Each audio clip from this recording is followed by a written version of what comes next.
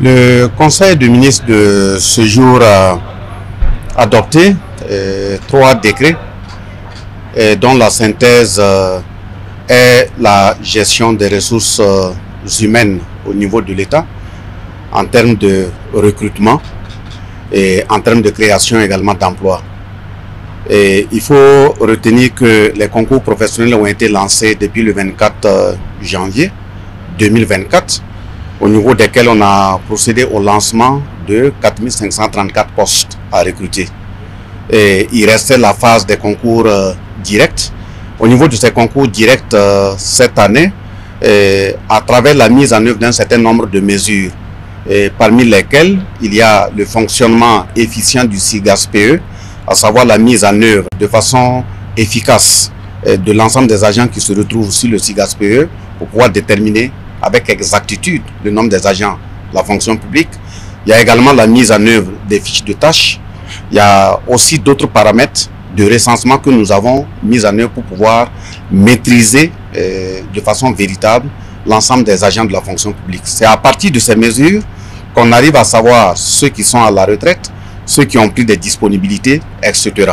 Mais nous ne pouvons pas attendre et finaliser toute la mise en œuvre de ces mesures, dans la mesure où ça peut prendre un peu de temps, avec les délais cartographiés de, euh, de l'application, la, cartographiés de, euh, de l'application de, recrutement à travers les concours directs, le Conseil de ministres a autorisé donc un départ euh, pour ce qui est déjà prêt et nous allons procéder donc à ce recrutement.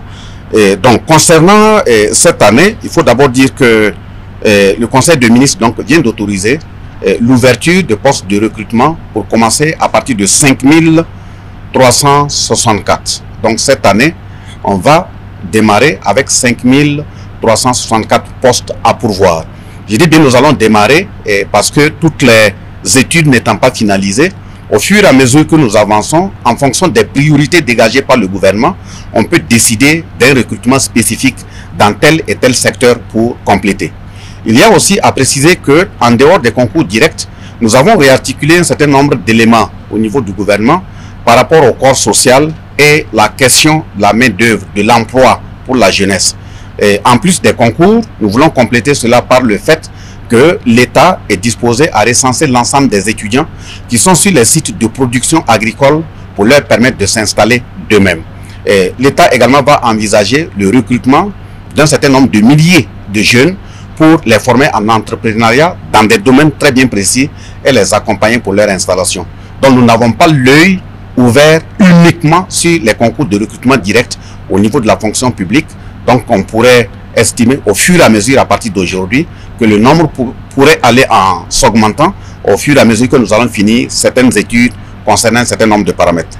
Je dis bien que c'est pour un début, dans la mesure où la deuxième séquence concerne le ministère de la Santé, où, après analyse, nous avons constaté qu'il y a des domaines qui sont totalement dépourvus de ressources humaines. Quand nous prenons les médecins, chirurgiens généralistes ou chirurgiens pédiatriques, nous avons fait le constat que ce sont des domaines qui ne sont pas étoffés, qui ne sont pas fournis. Et si nous ne prenons pas des dispositions, il va arriver une année où même pour faire une simple intervention chirurgicale dans ce domaine, on va avoir des difficultés.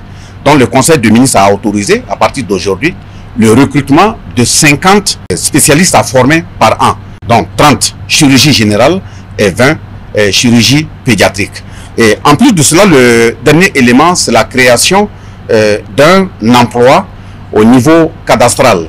Et cet emploi va permettre d'avoir trois catégories, à savoir euh, les, techniciens de, de, cadastre, les ingénieurs de cadastre, et nous avons également avoir les inspecteurs de, de cadastre. Donc ce sont des gens qui seront reliés en termes d'emploi au niveau du ministère de l'économie et des finances. Donc, de façon résumée, les trois décisions qui ont été prises, c'est pour la gestion des ressources humaines au niveau de l'État, mais également procéder au fur et à mesure au recrutement en concours direct pour compléter les agents de l'État comme prévu. Probablement que dans les mois à venir, si les études arrivent à finir, il peut arriver qu'il y ait d'autres annonces en termes de recrutement eh, pour servir l'État.